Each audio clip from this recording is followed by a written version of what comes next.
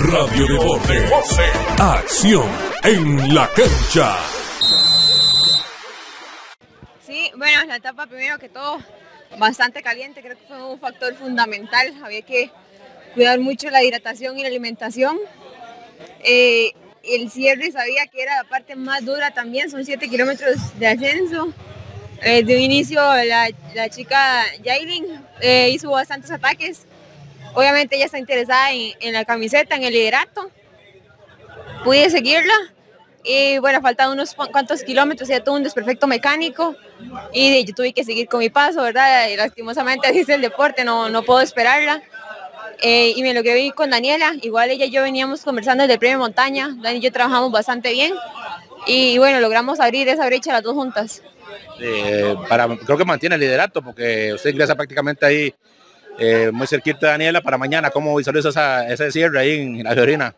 Eh, creo que nada está, nada está firmado, son unos pocos segundos lo que hay en esos tres lugares. Inclusive en otras chicas que tal vez no están en el podio, no, no se puede dar nada por sentado.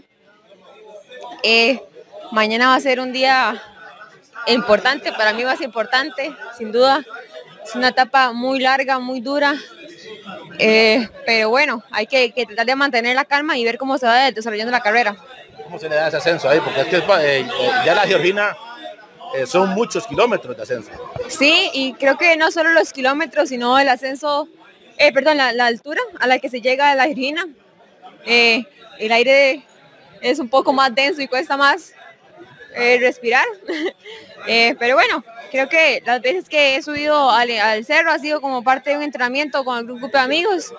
Y bueno, espero que mañana sea igual como algún tipo de entrenamiento con grupo de amigas. Por lo menos disfrutarlo igual, Alondra, éxitos y felicidades. Listo, muchas gracias. Radio Deporte. Acción en la cancha.